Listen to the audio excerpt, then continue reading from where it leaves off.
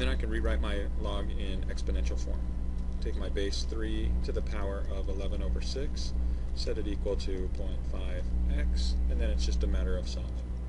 Divide both sides by 0.5, and you get x alone. And when you calculate this value, I get 3 to the power of 11 over 6 divided by 0.5, and that gives me my answer 14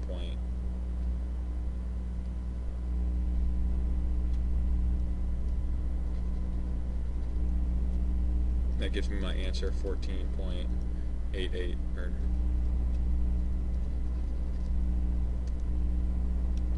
that gives me my answer